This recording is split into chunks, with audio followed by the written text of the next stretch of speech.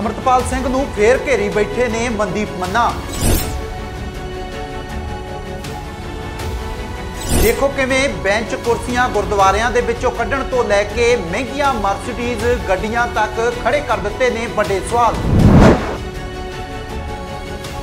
ਜਗਦੀਪ ਦੇ ਨਾਲ ਤੁਸੀਂ ਜੁੜ ਚੁੱਕੇ ਹੋ ਪਿਆਰ ਭਰੀ ਸਤਿ ਸ੍ਰੀ ਅਕਾਲ ਮੈਂ ਹਾਂ ਸੁਖਬੀਰ ਸਿੰਘ ਸ਼ਿਰਗਲ ਮਨਦੀਪ ਮੰਨਾ ਲਗਾਤਾਰ ਸਮਾਜਿਕ ਗਤੀਵਿਧੀਆਂ ਦੇ ਉੱਪਰ ਆਪਣਾ ਪ੍ਰਤੀਕਰਮ ਪੇਸ਼ ਕਰਦੇ ਰਹਿੰਦੇ ਨੇ ਲਗਾਤਾਰ ਉਹਨਾਂ ਦੇ ਵੱਲੋਂ ਸਮਾਜ ਦੇ ਵਿੱਚ ਵਿਚਰਦੀਆਂ ਵਾਪਰਦੀਆਂ तमाम ਘਟਨਾਵਾਂ ਦੇ ਉੱਪਰ ਆਪਣੀਆਂ ਟਿੱਪਣੀਆਂ ਲੋਕਾਂ ਸਾਹਮਣੇ ਪੇਸ਼ ਕੀਤੀਆਂ ਜਾਂਦੀਆਂ ਨੇ ਲਗਾਤਾਰ ਭਾਈ ਅਮਰਤਪਾਲ ਸਿੰਘ ਦੇ ਉੱਪਰ ਜਿਹੜੀਆਂ ਸਵਾਲਾਂ ਦੀਆਂ ਗੁੱਛੇਦਾਰ ਜਿਹੜੀਆਂ ਕਹਾਣੀਆਂ ਉਹਨਾਂ ਦੇ ਉੱਪਰ ਆਣ ਕੇ ਡਿੱਗ ਰਹੀਆਂ ਨੇ, ਉਹਨਾਂ ਦੇ ਉੱਪਰ ਵੀ ਅਮਰਤਪਾਲ ਸਿੰਘ ਦੇ ਖਿਲਾਫ ਜਾਂ ਕਹਿ ਲਈਏ ਜਾਂ ਫਿਰ ਉਹਨਾਂ ਦੇ ਪ੍ਰਤੀਕਰਮ ਜਿਹੜੇ ਨੇ, ਉਹ ਵੀ ਦਿੰਦੇ ਹੋਏ ਮਨਦੀਪ ਮੰਨਾ ਨਜ਼ਰ ਆਉਂਦੇ ਨੇ ਤੇ ਹੁਣ ਉਹਨਾਂ ਦੇ ਵੱਲੋਂ ਇੱਕ ਨਿੱਜੀ ਨਿਊਜ਼ ਚੈਨਲ ਦੇ ਨਾਲ ਗੱਲਬਾਤ ਕਰਦਿਆਂ ਅਮਰਤਪਾਲ ਸਿੰਘ ਦੇ ਉੱਪਰ ਵੱਡੇ ਸਵਾਲ ਖੜੇ ਕੀਤੇ ਗਏ ਨੇ, ਜਿੱਥੇ ਅਮਰਤਪਾਲ ਸਿੰਘ ਦੇ ਵੱਲੋਂ ਗੁਰੂ ਘਰਾਂ ਦੇ ਵਿੱਚੋਂ ਬੈਂਚ ਕੁਰਸੀਆਂ ਕੱਢਣ ਦੇ ਉੱਪਰ ਉਹਨਾਂ ਦੇ ਵੱਲੋਂ ਵੱਡਾ ਪ੍ਰਸ਼ਨ ਖੜਾ ਕੀਤਾ ਗਿਆ। ਉੱਥੇ ਹੀ ਮਹਿੰਗੀਆਂ ਮਰਸੀਡੀਜ਼ ਗੱਡੀਆਂ ਦੇ ਵਿੱਚ ਘੁੰਮਣ ਨੂੰ ਲੈ ਕੇ ਵੀ ਵੱਡੇ ਪ੍ਰਸ਼ਨਾਂ ਦਾ ਜਾਲ ਜਿਹੜਾ ਹੈ, ਉਹ ਅਮਰਤਪਾਲ ਸਿੰਘ ਵੱਲ ਸੁੱਟਦੇ ਨਜ਼ਰ ਆਏ ਮਨਦੀਪ ਸਿੰਘ ਮੰਨਾ।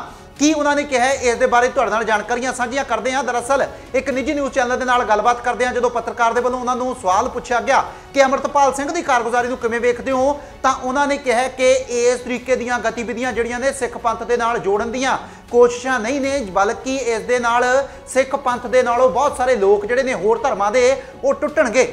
ਉਸ ਦੇ ਪਿੱਛੇ ਉਹਨਾਂ ਨੇ ਇਸ ਚੀਜ਼ ਦਾ ਤੱਥ ਇਹ ਪੇਸ਼ ਕੀਤਾ ਹੈ ਕਿ ਜੇਕਰ ਬੈਂਚ ਕੁਰਸੀਆਂ ਗੁਰਦੁਆਰਾ ਗੁਰੂ ਗੁਰੂ ਘਰਾਂ ਦੇ ਵਿੱਚੋਂ ਕੱਢੀਆਂ ਗਈਆਂ ਨੇ ਤਾਂ ਜਿਸ ਅ, ਦੇਸ਼ ਦੇ ਵਿੱਚੋਂ ਅਮਰਤਪਾਲ ਸਿੰਘ ਵਾਪਸ ਆਇਆ ਦੁਬਈ ਦੇ ਗੁਰਦੁਆਰਿਆਂ ਦੇ ਵਿੱਚ ਵੀ ਕੁਰਸੀਆਂ ਬੈਂਚ ਲੱਗੇ ਹੋਏ ਨੇ ਜਿੱਥੇ ਲੋਕਾਂ ਦੇ ਵੱਲੋਂ ਬੈਠ ਕੇ ਲੰਗਰ ਛਕਿਆ ਜਾਂਦਾ ਹੈ ਜਿਹੜਾ ਗੁਰੂ ਘਰਾਂ ਦੇ ਵਿੱਚ ਆਨੰਦਮਈ ਕੀਰਤਨ ਦੇ ਆਨੰਦ ਮਾਣੇ ਜਾਂਦੇ ਨੇ।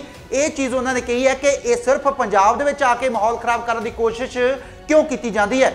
ਦੂਸਰੇ ਪਾਸੇ ਉਹਨਾਂ ਨੇ ਕਿਹਾ ਕਿ ਜੇਕਰ ਉਹ ਇਸ ਤੱਥ ਨੂੰ ਪੇਸ਼ ਕਰਦੇ ਨੇ ਕਿ ਹੁਣ ਲੋਕ ਜਿਹੜੇ ਨੇ ਭੰਗੜਾ ਪਾਉਣ ਵਾਰੀ ਜਿਹੜੇ ਨੇ, ਉਹ ਉੱਥੇ ਉਹਨਾਂ ਦੇ ਗੋਡੇ ਗਿੱਟੇ ਠੀਕ ਹੋ ਜਾਂਦੇ ਨੇ ਤੇ ਦੂਸਰੇ ਪਾਸੇ ਗੁਰੂ ਘਰਾਂ ਦੇ ਵਿੱਚ ਜਾਣ ਲੱਗੇ, ਉਹਨਾਂ ਦੇ ਗੋਡੇ ਦੁਖਦੇ ਨੇ ਤਾਂ ਉਹਨਾਂ ਨੇ ਕਿਹਾ ਕਿ ਉਸ ਵਕਤ ਦੀ ਗੱਲ ਤੁਸੀਂ ਨਾ ਕਰੋ, ਕਿਉਂਕਿ ਜੇਕਰ ਗੁਰੂ ਸਾਹਿਬ ਅਪਗ੍ਰੇਡ ਹੋ ਸਕਦੇ ਨੇ, ਸ੍ਰੀ ਗੁਰੂ ਗ੍ਰੰਥ ਸਾਹਿਬ ਨੂੰ ਲੈ ਕੇ ਜਿੰਨੀ ਰਹਿਤ ਮਰਿਆਦਾ ਹੈ, ਉਹ ਅਪਗ੍ਰੇਡ ਹੋ ਸਕਦੀ ਹੈ, ਤਾਂ ਫਿਰ ਲੋਕਾਂ ਦੇ ਵੱਲੋਂ ਇਹ ਚੀਜ਼ਾਂ ਦੀ ਸੁੱਖ ਸਹੂਲਤ ਜਿਹੜੀ ਮਾਣੀ ਜਾਂਦੀ ਹੈ, ਉਸ ਦੇ ਉੱਪਰ ਤੁਸੀਂ ਕਿੰਤੂ ਕਿਵੇਂ ਕਰ ਸਕਦੇ ਹੋ? ਉਹਨਾਂ ਨੇ ਕਿਹਾ ਕਿ ਇਹ ਚੀਜ਼ਾਂ ਜਿਹੜੀਆਂ ਨੇ ਗੁਰੂ ਸਾਹਿਬ ਦੇ ਉਸ ਸਮੇਂ ਦੇ ਵਿੱਚ ਨਹੀਂ ਸਨ, ਤਾਂ ਫਿਰ ਉਦੋਂ ਤਾਂ ਮਰਸੀਡੀਜ਼ ਤੇ ਮਹਿੰਗੀਆਂ ਗੱਡੀਆਂ ਵੀ ਨਹੀਂ ਸਨ, ਜਿਨ੍ਹਾਂ ਦੇ ਵਿੱਚ ਭਾਈ ਅਮਰਤਪਾਲ ਸਿੰਘ ਘੁੰਮਦੇ ਨੇ। ਇਹ ਜਿਹੜੇ ਸਵਾਲ ਨੇ ਮਨਦੀਪ ਮੰਨਾ ਹੋਰਾਂ ਦੇ ਵੱਲੋਂ ਰੱਖੇ ਗਏ ਨੇ। ਹੁਣ ਅਮਰਤਪਾਲ ਸਿੰਘ ਦੇ ਵੱਲੋਂ ਇਸ ਦੇ ਉੱਪਰ ਕੀ ਪ੍ਰਤੀਕਰਮ ਦਿੱਤਾ ਜਾਂਦਾ ਹੈ? ਹਾਲਾਂਕਿ ਮਨਦੀਪ ਮੰਨਾ ਦੇ ਵੱਲੋਂ ਜਿਹੜੀ ਇੱਕ ਵੀਡੀਓ ਜਾਰੀ ਕੀਤੀ ਗਈ ਸੀ, ਜਿਸ ਦੇ ਵਿੱਚ ਰਵਨੀਤ ਸਿੰਘ ਬਿੱਟੂ ਨੂੰ ਵੀ ਸਮਝਾਉਂਦੇ ਨਜ਼ਰ ਆਏ, ਜਿੱਥੇ ਉਹਨਾਂ ਨੇ ਰਵਨੀਤ ਸਿੰਘ ਬਿੱਟੂ ਨੂੰ ਕਿਹਾ ਸੀ ਕਿ ਉਹਨਾਂ ਦੇ ਵੱਲੋਂ ਅੱਗ ਲਗਾਓ ਜਿਹੜੇ ਬੋਲ ਬੋਲੇ ਜਾਂਦੇ ਨੇ, ਜਿਸ ਦੇ ਨਾਲ ਅਮਰਤਪਾਲ ਸਿੰਘ ਉਕਸਾ ਕੇ ਉਹਨਾਂ ਦੇ ਵੱਲੋਂ ਉੱਥੇ ਥਾਣੇ ਪਹੁੰਚ ਕੀਤੀ ਗਈ ਅਜਨਾਲਾ ਹਿੰਸੇ ਦੇ ਵਿੱਚ ਪਹੁੰਚਿਆ ਗਿਆ। ਉੱਥੇ ਵੱਡੇ ਜਿਹੜੇ ਬੇਅਦਬੀ ਦੇ ਜਿਹੜੇ ਕਾਰਨਾਮੇ ਹੋਣੇ ਸੀ, ਉਹਨਾਂ ਦੇ ਵਿੱਚ ਵੀ ਕਿਤੇ ਨਾ ਕਿਤੇ ਰਵਨੀਤ ਸਿੰਘ ਬਿੱਟੂ ਦੇ ਬੋਲੇ ਗਏ ਬੋਲ ਇਸ ਦਾ ਜ਼ਰੂਰ, ਇਸ ਦਾ ਅਸਰ ਉਹਨਾਂ ਦੇ ਉੱਪਰ ਹੋਇਆ ਹੋਵੇਗਾ। ਤਾਂ ਹੀ ਐਡੀ ਵੱਡੀ ਕਾਰਵਾਈ ਜਿਹੜੀ ਆ ਹੋਈ ਹੈ।